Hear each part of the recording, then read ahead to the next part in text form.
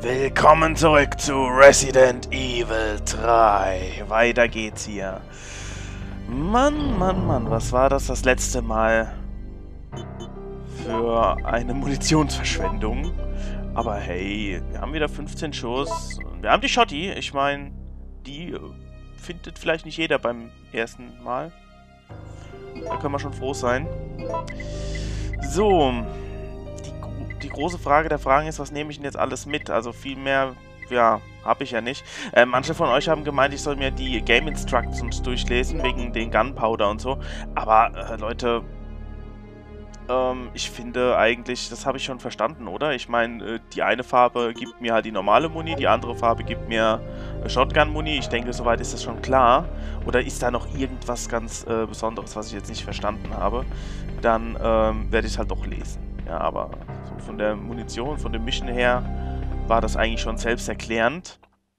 Also halte ich mich mal nicht mit dem Tutorial-Gedings auf. So. Ach Gott, Leid. Ja, ich bin schon weg. Die habe ich ja ganz verdrängt. Ja, hat, ja, ich weiß, dass wir da hinten einen Weg jetzt überhaupt nicht gegangen sind, weil der Zombie verseucht war. Aber hm, ist jetzt ärgerlich. Ich habe jetzt keinen Bock bei den Hunden vorbei, bei den Zombies vorbei, noch mehr Muni zu verschwenden. Ich denke mal, den richtig fetten Bonus, nämlich ähm, die Shotgun, die haben wir ja. Wer weiß, was in der Ecke noch gewesen wäre, aber ob es jetzt sich lohnen würde. Ich lasse es jetzt einfach mal sein. Ultimativ wollten wir es ja eh nicht durchspielen. Kann ich ja gar nicht hier, wenn ich es blind mache. Also gehe ich erstmal weiter. Ich hoffe mal, dass es hier weitergeht. Ähm, mit einem simplen... Okay, das heißt, äh, wir könnten das eventuell mit einem Dietrich aufmachen. Wenn das nur ein simples Schloss ist. Oder ein Dumm-Dumm-Geschoss. Schwarze, weißt du, noch damals, Dumm-Dumm. Nein, sie weiß es nicht mehr. Sie hat nämlich keins mehr. Weder ein Dumm-Dumm-Geschoss noch ein Dietrich. Aber vielleicht finde ich ja noch einen. So, also hier war ich jetzt aber noch nicht, oder? Das, das kommt mir zwar ein bisschen vertraut von. Ne, also da hinten so eine so, so ein kaputtes Wasserdingens haben habe ich noch nicht gesehen. Also sind wir hier wo neu. Ja, eindeutig.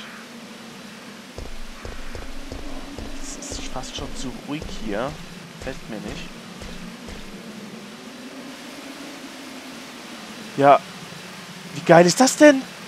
RPD? Das, das, das Polizeirevier? Oh, wie geil! Ja, Leute. War das Rushing Out? Ja. Ach, sag bloß, ich darf da rein. Oh, ich, ich, ich mache ja Freudensprünge, wenn ich da rein darf.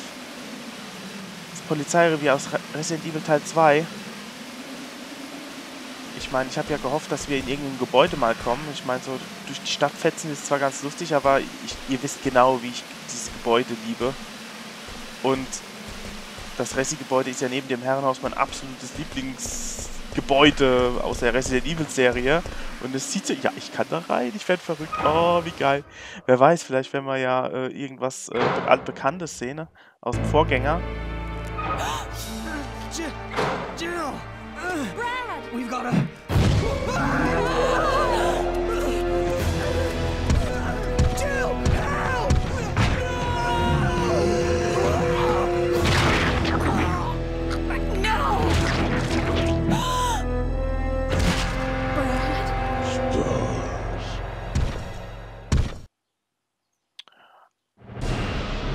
Okay, Leute. Ähm, ja, ich weiß, was jetzt passiert, denn das, ähm, okay, wir können uns jetzt entscheiden, ob wir... Oh Gott, ich habe ja gar keine Zeit zum Überlegen. Äh, dann hau ich ab. Oh Mann. äh, ja, ah, wie geil, das, äh, das Polizeirevier, ich werde verrückt. Ähm, ja, was ist da jetzt passiert? Also, ich, ich weiß äh, aus Erzählungen, ähm, das wusste ich schon sehr lange, dass wir des Öfteren gegen diesen Nemesis ähm, gegenüberstehen werden. Und ja, ich habe mich jetzt dazu entschieden, äh, zu gehen. Man kann sich entscheiden, kämpft man gegen ihn oder lauft man weg. Wenn man gegen ihn kämpft, äh, dann kann man äh, ihn halt kurzzeitig, denke ich mal, K.O. knocken und man bekommt eventuell was Feines oder ich weiß es nicht. Äh, wenn man wegrennt, dann hat man eben Munition und äh, Heilsprays und so weiter gespart. Jetzt ist halt für mich die Frage, ist es denn lukrativ, den zu bekämpfen? Weil, äh, mal ehrlich, wenn ich, wenn ich draufkloppe wie ein Verrückter und Munition und ähm, Heilung verliere und ich bekomme das als Belohnung, dann kann ich es auch gleich bleiben lassen. Oder ist das halt so eine richtige, ne, so eine richtig fette Belohnung? Das weiß ich halt nicht. Ähm, ihr müsst mir das auch nicht konkret in den äh, Kommentaren mitteilen. Vielleicht einfach nur mal sagen, zu was ihr denn tendieren würdet, ohne einen Grund zu nennen. Den möchte ich gar nicht wissen. Aber ähm, ich werde mich davon auch nicht abbringen. Ich werde es einfach situationstechnisch ähm, entscheiden, ob ich ihn nun bekämpfe oder ob ich abhaue. Also nur weil ich jetzt abgehauen bin, heißt das nicht, dass ich immer abhaue. Ähm, ich wollte eigentlich bekämpfen, aber dadurch, dass ich keine Zeit hatte bei der Schrift, äh... So, okay.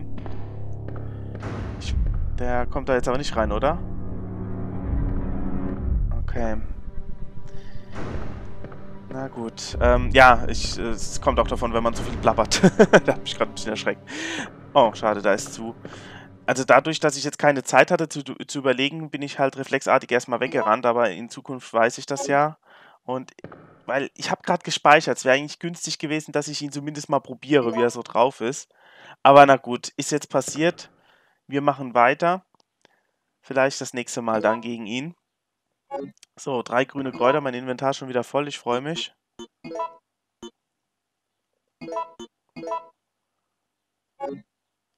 So, und da haben sie es zugenagelt. Das ist ja fast schade, muss ich sagen, weil...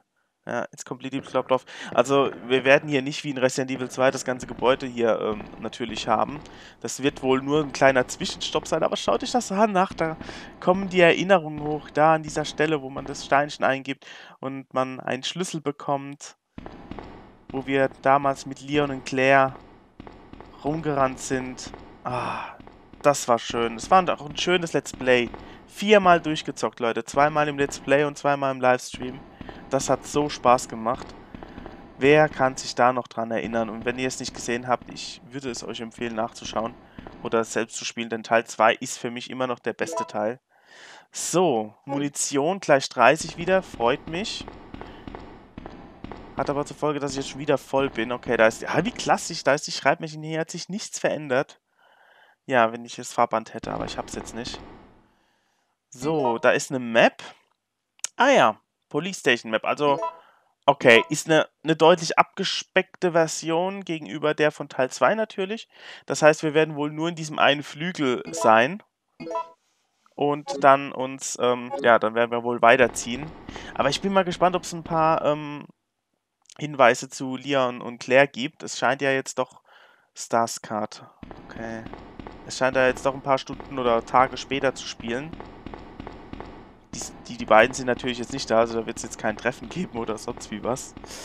Ähm, ja, okay, ich brauche die Stars Card, das kennen wir natürlich noch von dem, ähm, ja, von dem Vorgänger, da hatten wir auch eine Karte gebraucht, damit wir überhaupt zum Beispiel hier rein dürfen und so. Oh yeah, und da sind gleich Zombies, der kann mal kurz warten. Ich will nämlich erst gucken, wo ich sonst noch wo rein kann. Der Karte zufolge dürfte ja sonst alles abgeblockt sein, aber das will ich genauer wissen. Hier, ja, da komme ich auch nicht durch. Schade, schade, schade. Blocked off, okay. Und die gleiche Musik jetzt auch. Ach, toll. Wie gut. Sogar die gleiche Mucke. Ja, da oben die Leiter haben sie auch wieder hochgefahren. Ich frage mich, wer sich hier die Mühe gemacht hat, in solchen Zeiten der Not hier Bretter zu vernageln und die Leiter hochzuschrauben. Ich weiß ja nicht. Aber gut, ist natürlich spieltechnisch ähm, am einfachsten so. Da muss ich wohl hier hin. Wir erinnern uns, damals in Teil 2, ha, jetzt habe ich, ne, von wegen blind hier, ich kenne mich voll aus, wo ich bin. äh, damals in Teil 2 haben wir hier diesen Polizisten kennengelernt. Wir nannten ihn auch liebevoll ähm, Will Smith. Weil er, ja, dem Schauspieler ein bisschen ähnlich sah. Aber das, ist, das war nicht Will Smith. Will Smith müsste da hinten in der Ecke liegen. Bin mal gespannt, ob er immer noch da ist. Jetzt schauen wir uns aber erstmal in Ruhe um. So, da schlappelt noch einer rum. Ah, da ist ja noch einer. Nee, das ist jetzt... Okay, das war jetzt ungeschickt. Wollte ich eigentlich wegrennen. Und da ist noch einer. Ja, komm, Kopf ab. Ja, das kannst du gut. Der macht mir wenigstens keine Probleme mehr. Mist. Das war jetzt sehr uneffizient. Okay, hier habe ich die Ruhe. Hier, ähm... Oh, ich bin ja, ich bin ja noch grün. Ja, dann... Äh, das ist ja das, was ich meine, ne? Ähm, lieber mal sich beißen lassen, Heilung nehmen, wie ständig Muni zu verschwenden. Gerade diese Kopfabnummer, wenn sie diese wegdreht, dann kann man richtig schön gut sparen. Gut. Der steht nicht mehr auf. Doch, er steht nochmal auf. Ist natürlich blöd, wenn man die Blutlache nicht erkennen kann. So, jetzt steht er aber nicht mehr auf, weil er sich auf den Rücken hat fallen lassen. Das ist auch so ein kleines Indiz. Zumindest war das das immer. September der 29. Michael Festival. Okay, das sagt mir jetzt nichts. Aber hier, ihr seht selbst, ne, Welcome Leon, die, die, die, die Willkommensfeier, die die Polizeikollegen geplant hatten, aber zu der es leider niemals kam. Sehr gut. There's a waiting room by the reception desk. Okay.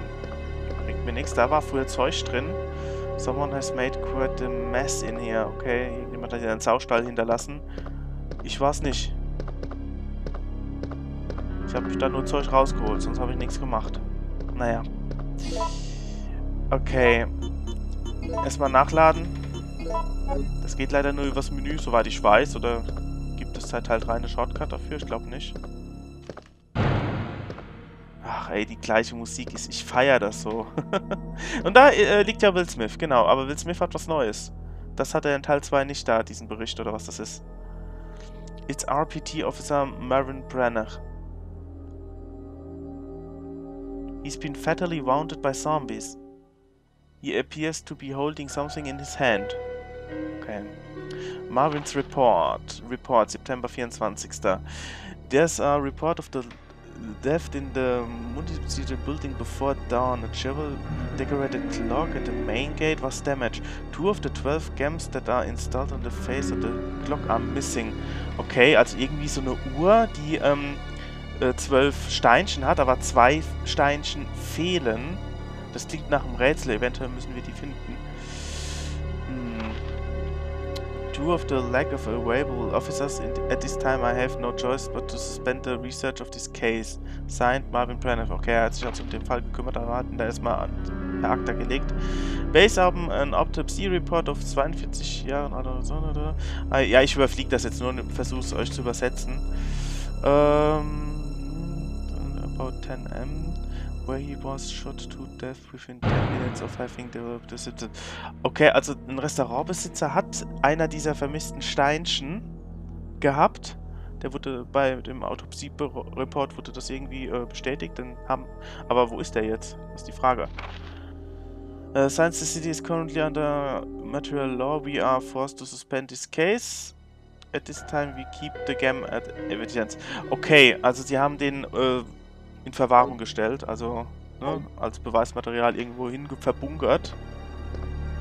Diesen einen Edelstein. Der fehlt, aber dann fehlt ja noch einer. Fotoframe. Familienfoto, schön.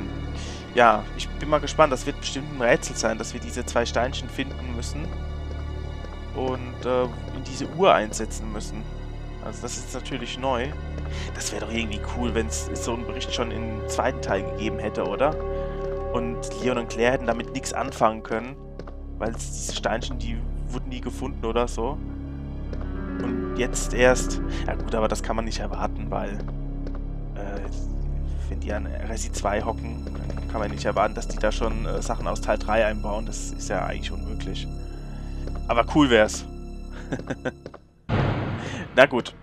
Also hier scheint nichts mehr zu sein. Ich check noch ein bisschen die Schreibtische. Da liegt so viel Zeug rum, da kann man schon mal was übersehen. Aber das ist nichts. Dann geht's mal weiter.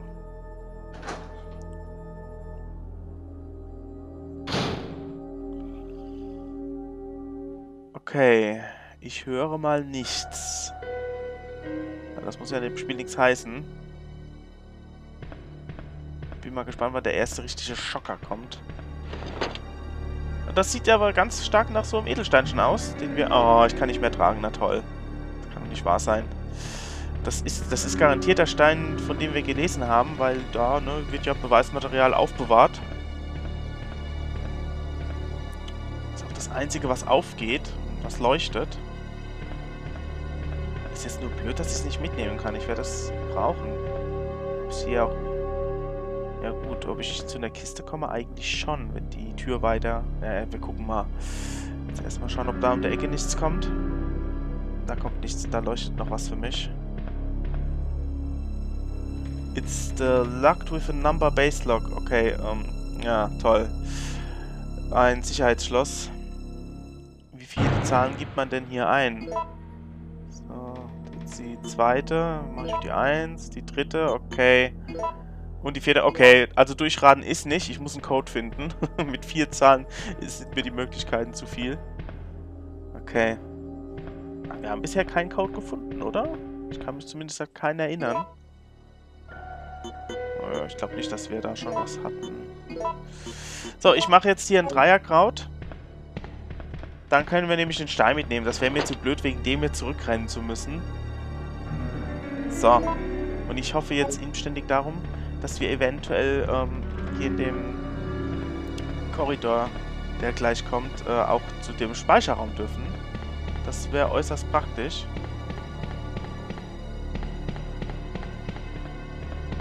So, da ist sonst nichts mehr.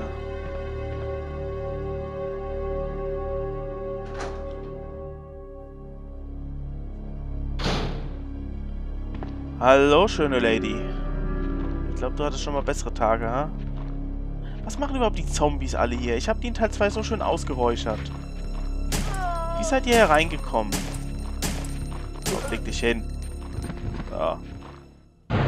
Aber es sind tolle Zombie-Modelle, muss man auch mal wieder sagen. Also, so schön unterschiedlich, wie die immer aussehen. Das wird mir jetzt zu knapp, deswegen... So. So geht's immer noch. Jetzt habe ich meine Ruhe. Wenn jetzt noch was aufsteht, dann bitteschön. Äh, wie geil! Also ich, ich es ja schon aus früheren Teilen gewohnt, dass da der Torso noch rumschlappt, aber die Beine alleine, das sah ja auch mal geil aus. okay, der ist kaputt. Oh Mann. Wie creepy hier. So, ja, hier...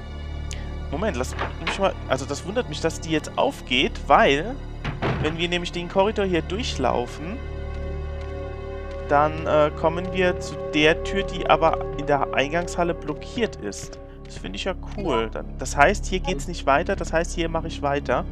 Weil, ne, da wo es weitergeht, da will ich ja jetzt noch nicht hin. So, oh Gott, das ist ein Hund. Ja, ich gerade, habe gerade das Tapsen gehört. Shit, die muss ich jetzt machen. Das ist mir zu eng hier. Ah. Okay. Shit, das sind zwei. Ich hasse es. Ich kann eigentlich ganz gut mit den Hunden umgehen, wenn es einer ist wie ihr seht, aber... Ah, das war schön, oder? Ja, das war nicht schön.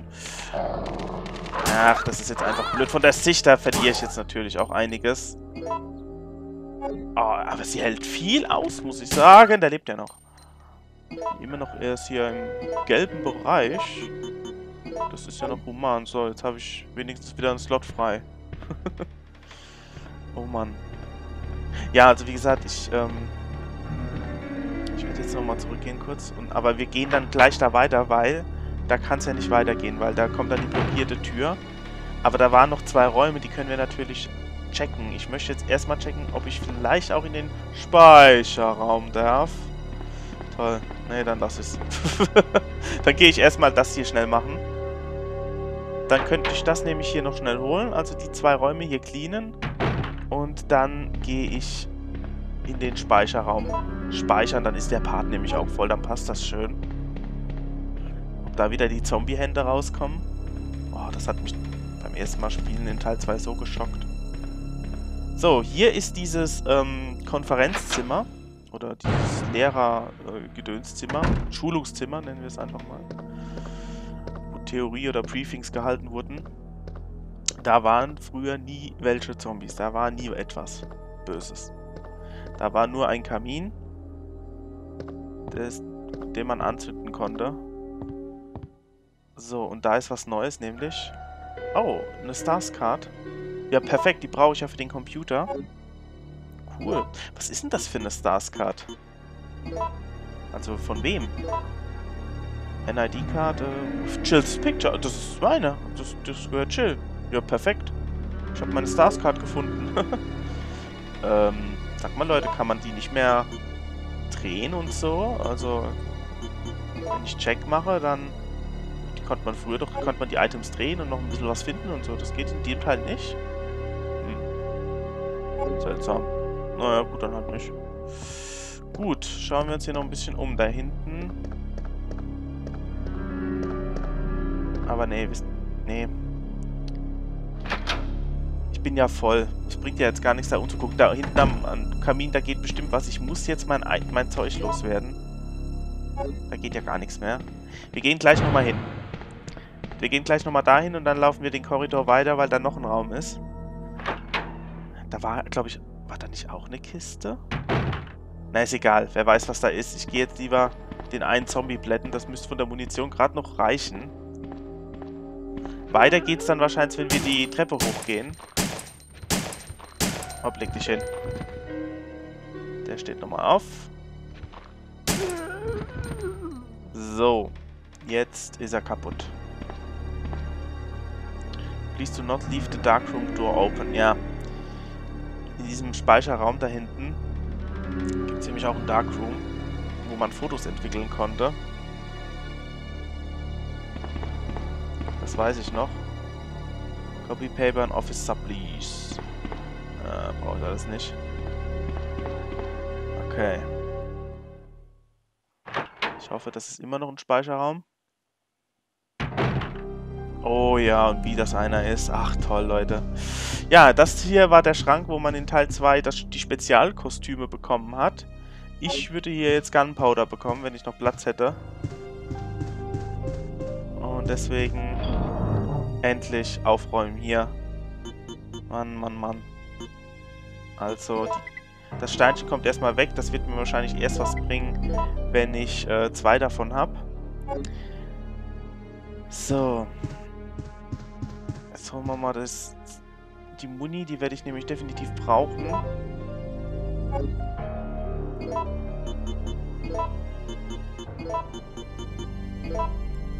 So, und schon haben wir... Oh, es scheint unterschiedlich zu sein, wie viel so ein Dingens gibt. 17 hat das jetzt einfach mal gebracht, okay. Wahrscheinlich mindestens 15, maximal 30 oder so, keine Ahnung. Auch gut. So.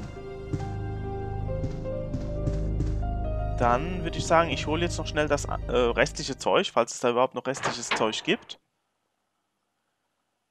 Falls es da überhaupt noch was gibt. Das hole ich jetzt schnell. Und dann können wir das nächste Mal die Treppe hochgehen. Halt dahin.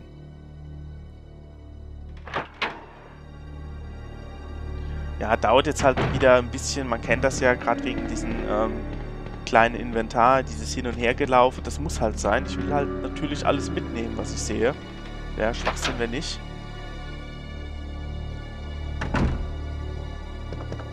So, mal gucken, ob da noch was ist für mich. Ja, da liegt tatsächlich... Ach nein, ey, jetzt ist da noch ein Farbband.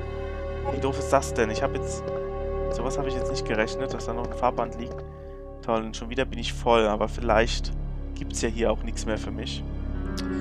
Looks like there was okay, das ist nicht wichtig. Da hinten war dieses Bild, dass man, und der Kamin, dass man brennen musste, hat man was bekommen. Ähm, oh, da liegt, oh, okay, Leute, das, ja, ich hätte mehr Platz schaffen müssen. Da, dass die jetzt so nett zu mir sind, damit hätte ich gar nicht gerechnet. Ich hätte vielleicht gedacht, da gibt es vielleicht noch ein Item oder so, aber nö, da gibt es Fahrbänder, Muni, alles drauf. Ja, das muss ich natürlich jetzt... Na gut, wisst ihr was, dann machen wir es halt doch anders. Das wird mir sonst zu lange. Ich gehe jetzt speichern. Und äh, das nächste Mal gehen wir hier nochmal hin, und zwar mit einem richtig leeren Inventar. Dann äh, werde ich alles sammeln, auch den Raum dahinter noch, falls der aufgeht. Oh Gott, ich hoffe, da kommt kein Licker. Damals haben wir unseren ersten Licker dort hinten gesehen. Naja.